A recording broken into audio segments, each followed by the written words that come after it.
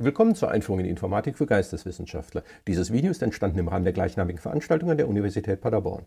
In diesem Video möchte ich einige Vorüberlegungen anstellen, die uns zu HTML hinführen, der Hypertext Markup Language, der Beschreibungssprache, mit der man Webseiten erstellt.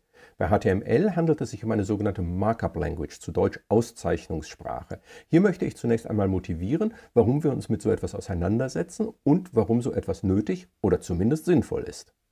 Schauen wir uns beispielsweise ein ganz normales Word-Dokument an. Wir sehen hier ein solches, zugegebenermaßen sehr kleines Word-Dokument, das einfach nur aus den Worten mein erstes Word-Dokument und den beiden Sätzen er hörte leise Schritte hinter sich, das bedeutete nichts Gutes besteht. Literarisch ist das nun nicht sehr anspruchsvoll, aber es ist ein kurzer Text, den wir so schreiben könnten. Jetzt haben wir im Zusammenhang mit der Codierung schon besprochen, dass bei der Textcodierung jeder Buchstabe einzeln codiert werden würde. Wenn wir aber dieses Dokument nun anschauen, stellen wir fest, dass das Dokument ja gar nicht nur aus Buchstaben besteht, sondern eigentlich viel mehr enthält. Die ersten Worte sind beispielsweise größer geschrieben und in einer anderen Farbe gesetzt. Dabei handelt es sich offensichtlich um eine Überschrift, wie wir als Leser, als Menschen sofort erkennen. Und irgendwie muss das natürlich auch in der Maschine so gespeichert sein, denn sonst würde dieses Word-Dokument ja nicht in dieser Form angezeigt werden. Auch der Absatz, der dann als nächstes kommt, enthält ein paar Besonderheiten, die aber erst einmal nicht als Zeichen sichtbar sind, die also erst einmal gar nicht unmittelbar zum Text gehören, könnte man meinen. Aber irgendwie gehören sie schon dazu. Dass die Worte leise Schritte beispielsweise kursiv gesetzt sind und die Worte nichts Gutes fett gesetzt, das muss ja irgendwo festgelegt werden bzw. worden sein. Bei diesen Dingen handelt es sich um sogenannte Auszeichnungen. Das Kursive und das Fette beispielsweise sind solche Auszeichnungen und auch, dass etwas eine Überschrift ist und etwas anderes ein normaler Absatz ist, auch das sind Auszeichnungen. Es gibt noch viel mehr Auszeichnungen und wir wissen wohl alle, dass wir diese über die Menüleiste oder die Toolbar, die oben in Word angezeigt wird, festlegen können. Dort können wir auswählen, ob wir zum Beispiel etwas fett oder kursiv machen oder ob wir etwas mit einem bestimmten Absatzformat versehen, etwas als Überschrift oder Aufzählung setzen oder was auch immer.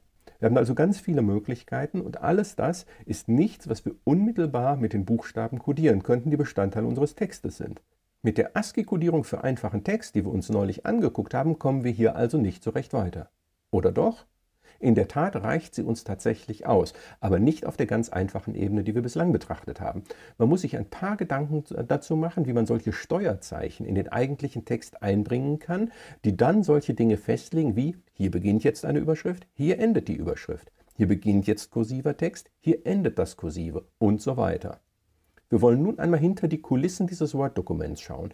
Das ist eine Ansicht, die uns normalerweise verborgen bleibt, weil wir ein solches Dokument üblicherweise mit einer geeigneten Software öffnen, eben Word beispielsweise. Behandeln wir das Dokument hingegen wie eine ZIP-Datei und entpacken sie, dann finden wir dort eine Struktur bestehend aus einem Ordner mit einem Unterordner, in dem sich ein Dokument in einer anderen Markup-Language, einer Auszeichnungssprache namens XML befindet. Wenn wir also nachgucken, was der Teddybär im Bauch hat, entdecken wir, dass ein Word-Dokument in seinem Bauch eine XML-Datei enthält. XML ist die sogenannte Extensible Markup Language, eine Auszeichnungssprache, wie gesagt, die sehr vielseitig ist, die man zu unterschiedlichsten Zwecken verwenden kann. Unter anderem kann man sie offenbar dazu verwenden, Word-Dokumente zu beschreiben. XML ist sehr eng mit HTML verwandt, das wir uns gleich ansehen werden. Es ist nicht dasselbe. HTML ist viel eingeschränkter als XML, aber für die Zwecke, die wir mit dem World Wide Web verfolgen, sehr gut geeignet. Eine solche XML-Datei, wie wir sie hier sehen, würden wir aus offensichtlichen Gründen niemals selber so schreiben wollen. Unsere HTML-Seiten hingegen werden wir selber schreiben wollen. Sie werden hier bei uns von Hand geklöppelt und wir benutzen dafür keine besonderen Tools wie Redaktionssysteme oder andere spezielle HTML-Tools, sondern ausschließlich ganz elementare Werkzeuge wie ein Texteditor. Auf diese Weise können wir das Handwerk von Grund auf erlernen. Trotzdem wollen wir uns dieses Dokument hier einmal genauer angucken, diese XML-Datei. Wir erkennen darin durchaus einige Dinge, zum Beispiel stehen ganz am Anfang erst einmal die drei Buchstaben XML. Diese kennzeichnen, dass es sich hier eben um ein XML-Dokument handelt. Und das weniger für uns als Menschen, denn diese Ansicht, die wir gerade sehen, ist ja gar nicht für uns gedacht, sondern vielmehr für die Maschine. Eine Software, die jetzt dieses Dokument zu sehen bekäme, die diese Datei quasi von uns vorgesetzt bekäme, würde nun diese ersten drei Zeichen analysieren können und so feststellen, dass es sich hier um eine XML-Datei handelt. Dies ist standardisiert, also gewissermaßen wieder eine Art von Protokoll, wenn man so möchte. Hier spricht man eher von einem Standard als von einem Protokoll. Dann können wir weiter schauen und sehen zum Beispiel lauter Dinge, die in diesen spitzen Klammern stehen. Ganz am Anfang beispielsweise steht so etwas wie W Doppelpunkt Document. Das W, so könnte man sich denken, hat vielleicht etwas mit Word zu tun. Wer weiß, wer weiß, wir könnten einer großen Sache auf der Spur sein.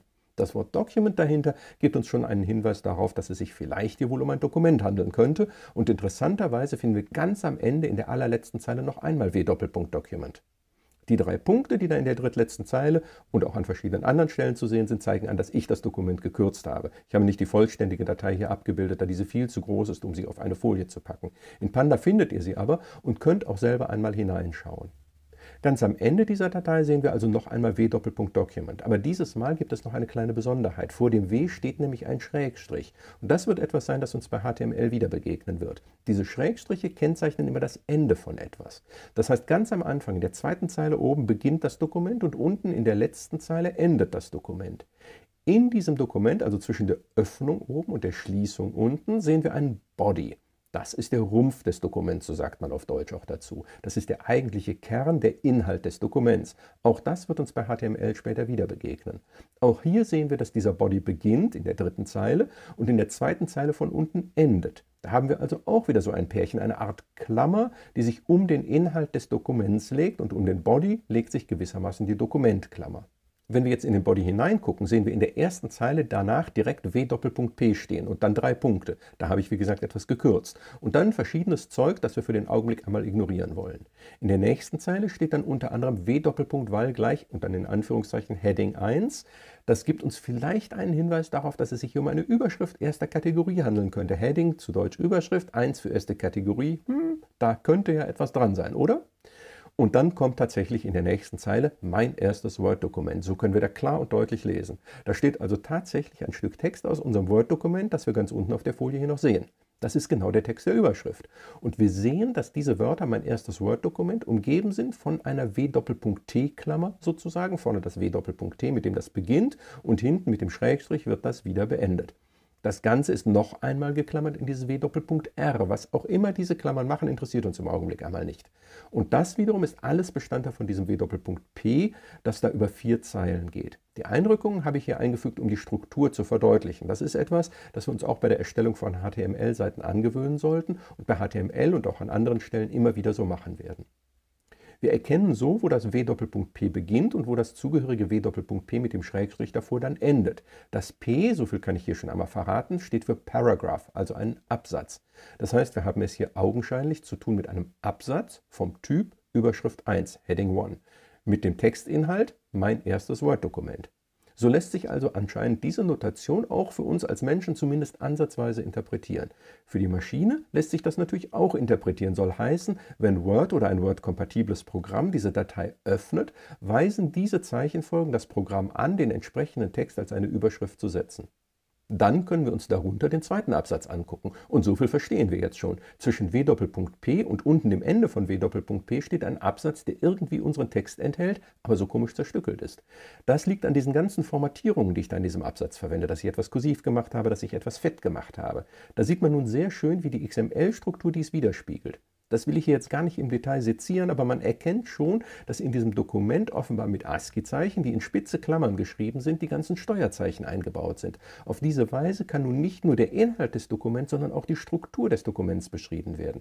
Wie das Ganze dann aussehen soll, also dass die Überschrift in dieser bestimmten Schriftgröße und in Blau angezeigt werden soll, muss ebenfalls noch irgendwo festgelegt werden. Diese Dinge werden uns bei HTML wieder begegnen, das wir uns dann in weiteren Videos noch genauer angucken wollen. Das wird erfreulicherweise sehr viel einfacher sein als das, was wir hier sehen. Die Strukturen werden einfacher sein. Wir werden uns aber auch nur einen Bruchteil von HTML in dieser Vorlesung hier angucken. Wir haben also gerade gesehen, dass wir in einem solchen Word-Dokument einmal den Inhalt des Texts haben, aber auch andere Dinge, nämlich wie das Dokument hinterher aussieht. Wir haben beispielsweise etwas Kursives und etwas Fettes. Hier handelt es sich um eine Überschrift, hier handelt es sich um einen normalen Absatz. All das sind Dinge, die man als Auszeichnung bezeichnet. Daher der Begriff Auszeichnungssprache. Wir haben hier in einer ganz bestimmten Syntax, in einer formalen Sprache kodiert, was wie ausgezeichnet werden soll. Wir haben darüber hinaus dann noch ein Layout. Das Layout besagt, wie der normale Text und insbesondere auch die diversen Auszeichnungen letztlich aussehen sollen, also im gedruckten Dokument, auf der Folie oder wo auch immer. Beispiele dafür sind auf dieser Folie, dass die Überschrift ganz oben in einer anderen Schriftgröße und fett gesetzt ist oder dass die einzelnen Punkte in den Aufzählungen immer dieses blaue Kästchen vorne stehen haben und der Text dazu dann ein Stück eingerückt wird. Dass der Text dieser Folie zweimal nebeneinander steht, ist durchaus beabsichtigt. Links haben wir nämlich den ausgezeichneten Text meiner Folie stehen, mit Aufzählungen, mit Fettschrift beispielsweise darin, und rechts haben wir sozusagen nur den reinen Inhalt stehen. Da ist keine der Auszeichnungen vorhanden, da ist nichts Fett, da sind keine Aufzählungen zu erkennen. Das sind einfach nur einzelne Textzeilen, die dort hintereinander wegstehen. Man sieht schon, dass Auszeichnungen und Layout irgendwie einen Mehrwert bringen und das Ganze lesbarer machen. Es wird alles übersichtlicher, wir erkennen besser Zusammenhänge, als wir das auf der rechten Seite können. Wir können vielleicht sogar den den zur Verfügung stehenden Platz besser ausnutzen und nicht zuletzt sieht es vermutlich auch ein bisschen besser aus. Deshalb bevorzuge ich die linke Variante für meine Folien und die rechte vergessen wir gleich ganz schnell mal wieder, denn die dient hier nur zu Demonstrationszwecken, wie hässlich Dinge sein können. Und wir werden, wenn wir mit HTML anfangen, erst einmal eine Menge hässliche Dinge machen. Das kann ich schon einmal versprechen. Schön machen wir später. Was leisten nun Auszeichnungssprachen? Man kann natürlich alles sozusagen miteinander verbacken, also Inhalt und Aussehen eng aneinander koppeln. Man kann aber diese Dinge auch voneinander trennen. Auf der einen Seite haben wir immer den Inhalt und dieser Inhalt hat natürlich immer auch eine Form. Zumindest wenn wir ihn irgendwie externalisieren, also aufschreiben, in irgendeiner Form zu Papier bringen, in Ton drücken, in Stein meißeln oder was auch immer. Diese Form, die für uns wahrnehmbar ist, kann man wiederum aus mindestens zwei Perspektiven betrachten. Das ist einmal, dass wir eine logische Form haben, die Struktur des Texts. Der Text hat eine Form in dem Sinn, dass er eine, einen Aufbau hat, dass er Absätze hat, die hintereinander stehen, dass er Überschriften hat, dass er Aufzählungen enthält, alle diese Dinge, über die wir eben schon gesprochen haben. Und er hat außerdem eine optische Form. Das heißt, er hat ein Aussehen. Eine Überschrift zum Beispiel, wie in dem Word-Dokument eben, wird vielleicht größer gesetzt und sie wird in blauer Schrift gemacht. So war das in meinem Dokument eben zumindest. Fette Schrift wurde mit einer bestimmten Art von fetter gekennzeichnet. Auch generell wurde ja eine bestimmte Schriftart für den Text verwendet oder auch für diese Folien hier. Alles das sind Bestandteile von dem, was eben die optische Form ausmacht. Wenn wir diese Dinge voneinander trennen wollen, reden wir bei der Externalisierung des Inhalts eines Dokuments über zweierlei Aspekte, nämlich zum einen über die Struktur, wie gesagt, Überschriften, Aufzählung, was folgt auf was, und auf der anderen Seite über das Layout, also wie sehen die Dinge aus, wie werden sie präsentiert, wie werden sie dargestellt. Wenn man das sozusagen am, am, Job festmachen möchte, wer kümmert sich eigentlich um was, dann kann man sagen, dass der Autor eigentlich erst einmal nur den Text schreibt. Er erzeugt den Inhalt, so schreibt beispielsweise ein Zeitungsredakteur den Artikel, aber er sagt nicht, was wie gesetzt werden soll. Er sagt nicht, wie breit die Spalten sein sollen. Er sagt nicht, wie groß die Überschrift gesetzt werden soll. Das alles ist nicht der Job des Autors. Dafür ist jemand anders zuständig, beispielsweise ein Setzer oder ein Layouter. Das sind andere Leute, die sich um das Layout der Zeitschrift kümmern oder des Plakats oder was auch immer. In unserem Fall geht es aber weniger darum, dass wir etwas an einen Layouter weitergeben, der das Ganze zu einem Druckprodukt weiterverarbeitet, sondern bei uns geht es darum, dass wir das strukturierte Dokument an ein technisches System weitergeben. Dieses technische System wird unser Webbrowser sein und der wird dafür sorgen, dass der Inhalt in einer bestimmten Form dargestellt wird. Auch darauf haben wir Einfluss. Wir haben es also nicht mit einem vollständigen Automatismus zu tun. Es gibt bestimmte Vorgaben und Voreinstellungen, wie Dinge üblicherweise aussehen, aber wir können das auch selber beeinflussen. In den nächsten Videos wird es zunächst darum gehen, dass wir uns den rechten Teil angucken, also wie wir den Inhalt von Texten beschreiben können, wie wir ihn strukturieren können, indem wir nicht einfach nur wie bei dem einfachen Plaintext ASCII-Zeichen hintereinander schreiben, sondern festlegen können, hier ist eine Überschrift, hier ist eine Aufzählung, hier soll etwas fett gemacht werden oder was auch immer. Eigentlich muss ich sogar richtigerweise sagen, hier soll etwas hervorgehoben werden, denn fette Schrift ist ja eigentlich schon eine Frage des Aussehens. Wir werden daher sagen, dass etwas hervorgehoben werden soll oder auch stark hervorgehoben. Genau das werden wir uns angucken und dabei werden wir sehr penibel sein. Penibler, als man das im Alltag meistens ist. Aber wir werden hier sozusagen die reine Lehre vertreten, päpstlicher sein als der Papst. Was wir uns dazu angucken werden, womit wir uns also in den folgenden Videos beschäftigen werden, ist HTML, konkret HTML5. Wir haben bei HTTP schon gesehen, dass sich Dinge weiterentwickeln und dass es daher Versionen gibt. Das ist auch bei HTML der Fall und hier sind wir derzeit beim Standard HTML5, den wir uns im Folgenden vornehmen werden. Dessen Strukturen, dessen Möglichkeiten werden wir also in dieser Vorlesung betrachten. Auf der anderen Seite haben wir dann das Aussehen. Dieses beschreibt man mit CSS. Damit werden wir uns dann im Anschluss beschäftigen, nachdem wir die Grundprinzipien von HTML verstanden haben. Das Programm für die nächsten Videos sieht also wie folgt aus. Mit HTML machen wir die Struktur und das wird hässlich aussehen. Danach gucken wir uns CSS an, dann machen wir die Sachen auch noch hübsch.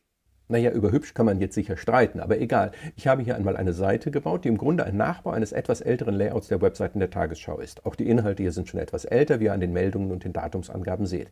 Ich habe mich da einmal großzügig bedient und von dort die Texte und Bilder übernommen. Ich hoffe, die sind mir nicht böse, dass ich etliche Jahre alte Texte und Bilder und auch das seinerzeit aktuelle Tagesschau-Hintergrundbild von ihren Webseiten hier in klein in dieses Video eingebaut habe. Wir sehen, dass diese Seite offensichtlich irgendwie gestaltet ist. Hier steht ja nicht einfach nur Text untereinander, sondern wir sehen am oberen Rand der Seite ein Banner und darunter den eigentlichen Inhalt. Wir sehen zwei Meldungen, die untereinander stehen und jeweils auf bläulichen Feldern liegen. Wir sehen innerhalb der einzelnen Meldungen eine Substruktur. Gucken wir mal die untere der beiden an. Sie hat oben zunächst ein Kopfbild, dann kommt eine Art Untertitel. Obwohl der oberhalb des eigentlichen Titels steht, würde man wohl sagen, dass dies ein Untertitel ist. Dann kommt der eigentliche Titel der Meldung, dann kommt ein kurzer Absatz, dann steht da das Wörtchen mehr, auf das man, so viel kann ich an dieser Stelle schon einmal verraten, auch wenn man das hier nicht unmittelbar sieht, klicken könnte, um von da aus zu der ausführlichen Meldung zu gelangen. Und darunter kommt noch eine kleine Aufzählung mit zwei weiteren Artikeln, die da verlinkt sind. Auch darauf könnte man klicken, um weitere Informationen zu erhalten. Alles das sehen wir also in diesem HTML-Dokument und das ist das, was wir normalerweise zu sehen bekommen, wenn wir im World Wide Web unterwegs sind. Was wir aber hier machen wollen, ist etwas anderes. Wir machen es wie Alice und gehen durch den Spiegel. Wir gehen auf die andere Seite und gucken nach, was sich dahinter befindet. Da gucken wir jetzt auf die Struktur, wie ein solches Dokument aufgebaut ist. Und das sehen wir nun rechts. Hier erkennen wir jetzt die Struktur des Dokuments, das wir auf der linken Seite haben. Wenn wir das jetzt einmal genauer angucken und auch schon ein, so ein bisschen interpretieren mit den Überlegungen, die wir am Anfang dieses Videos über das Word-Dokument angestellt haben, können wir sogar schon ein paar Dinge verstehen. Da steht ganz am Anfang Doctype HTML. Das ist ein Hinweis in der Art, Achtung, jetzt kommt nicht ein XML, sondern ein HTML-Dokument. Das ist offenbar ein bisschen anders als bei dem XML-Dokument zu Beginn, aber durchaus ziemlich ähnlich. Dann sehen wir hier jetzt auch immer in den Spitzenklammern so eine Art Steuerzeichen.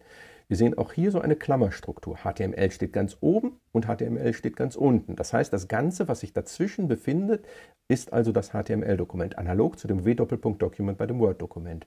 Dann besteht dieses Dokument anscheinend aus einem Head, einem Kopf, mit dem werden wir uns noch beschäftigen, und einem Body. Den Body kennen wir schon von eben.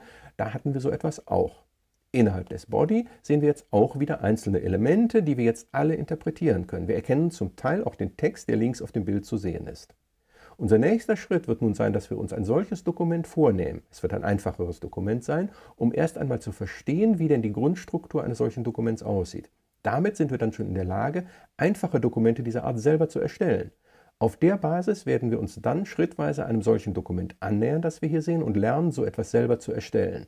Auch wenn es ein bisschen aussieht wie die Tagesschau-Webseite früher, ist das übrigens von mir handgeklöppelt und eine eher schlechte denn rechte Imitation, an der wir aber die Grundprinzipien der Erstellung von Webseiten gut erlernen können. Wenn ihr euch dafür interessiert, wie die Tagesschau-Webseiten tatsächlich hinter den Kulissen aussehen oder auch irgendeine andere Webseite, könnt ihr das ganz einfach tun. Besucht die entsprechende Webseite mit eurem Webbrowser und wählt im Menü den Menüpunkt Seitenquelltext anzeigen. Falls ihr diesen nicht findet, müsst ihr einmal schauen, ob ihr den Browser in einen Entwicklermodus versetzen müsst. Im Zweifelsfall helfen euch die Suchmaschine eurer Wahl oder die Tutorinnen. Wenn ihr euch den Quelltext der echten Tagesschau-Webseite beispielsweise anschaut, werdet ihr feststellen, dass dieser häufig genauso kompliziert zu lesen ist wie das, was wir eben bei dem Word-Dokument gesehen haben. Das ist der Grund dafür, warum ich für diese Vorlesung eine vereinfachte Version gebaut habe. Denn ich möchte versuchen, das auf das Wesentliche zu reduzieren, sodass wir die entscheidenden Punkte, die wichtigen Aspekte daran für uns gut identifizieren können. Das soll es als kurze Einführung in das Thema Auszeichnungssprachen gewesen sein. Von hier aus geht es jetzt natürlich wenig überraschend damit weiter, dass wir uns als nächstes HTML beibringen wollen und damit werden sich die nächsten Videos beschäftigen. Tschüss, bis zum nächsten Video.